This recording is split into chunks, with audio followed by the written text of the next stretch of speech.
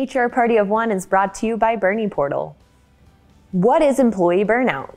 Have you ever felt mentally, physically, and emotionally exhausted from work? Maybe it has been a very draining week or month or even a year.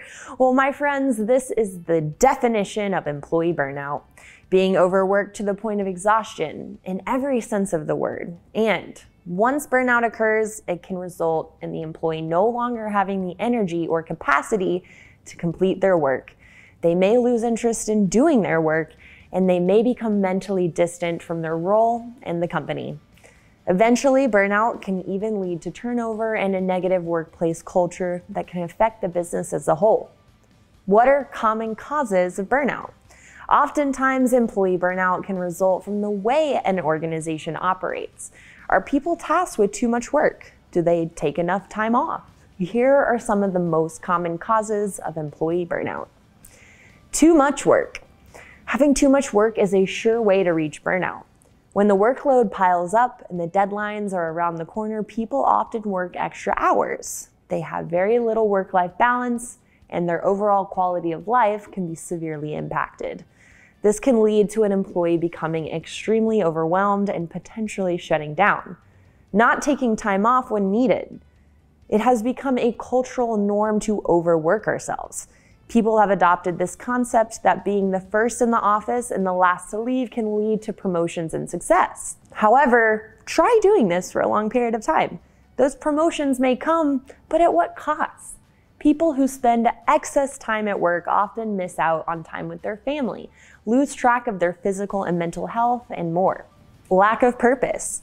If employees don't feel that their work is valuable or that they are impacting the organization in any way, burnout is more likely to occur since there will be a disconnect between their work and its purpose.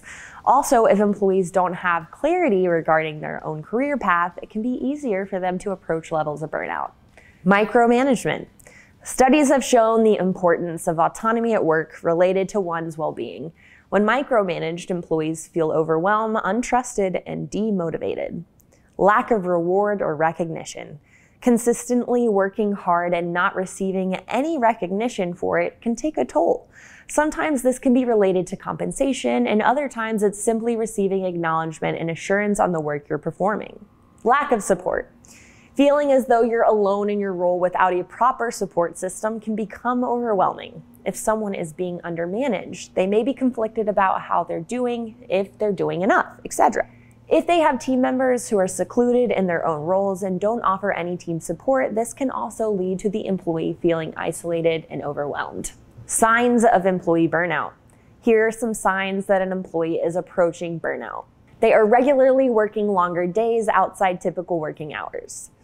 There are errors in their work or a decline in work quality. They're missing deadlines. They're taking additional days off, often last minute. They become disengaged from work. The feedback coming from someone who is typically a vocal and engaged employee is negative or non existent. Okay, so now that you know what employee burnout is and how it's caused, let's go over some ways you can help prevent it from occurring in the first place. Actually encourage work life balance and enforce it. Many organizations will say they offer work life balance or that they don't want their employees overworked, but then the workload piles up, the deadlines approach, and it becomes an impossibility.